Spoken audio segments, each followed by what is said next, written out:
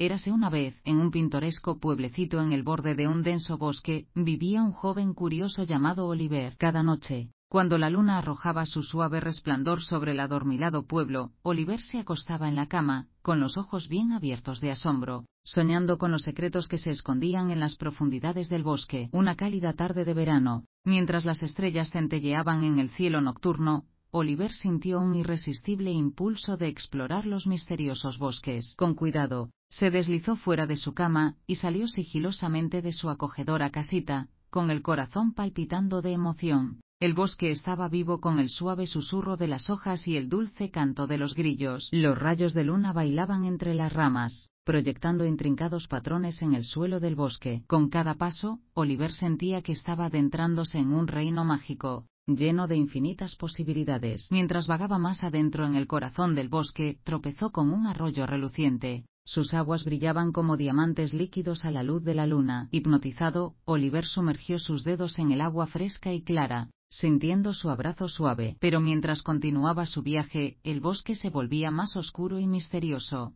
Las sombras danzaban entre los árboles y extraños susurros llenaban el aire. Sin embargo, Oliver no tenía miedo, porque en su corazón, Sabía que el bosque solo guardaba belleza y maravilla. De repente, escuchó una melodía tenue flotando entre los árboles, como el suave murmullo de una canción de cuna. Embelesado, Oliver siguió el sonido, sus sentidos vibrando de anticipación, y allí, en un claro bañado por la luz de la luna, encontró la fuente de la melodía encantadora. Un grupo de criaturas del bosque se había reunido bajo un imponente roble, sus voces mezclándose en perfecta armonía. Las ardillas charlaban, los pájaros trinaban e incluso la suave brisa parecía añadir sus propias notas a la sinfonía. Oliver observó con asombro cómo las criaturas cantaban su canción, sus voces tejiendo una tela de sonido que llenaba su alma de paz. Cerró los ojos y dejó que la melodía lo envolviera, sintiéndose más ligero que el aire. Y cuando las últimas notas se desvanecieron en la noche, Oliver supo que había encontrado la verdadera magia del bosque, no en sus misterios o sus secretos, sino en la simple belleza de su canción. Con una sonrisa satisfecha, deseó buenas noches a las criaturas y regresó a casa, la melodía del bosque resonando en su corazón. Y así, acurrucado bajo sus suaves mantas, Oliver se quedó dormido,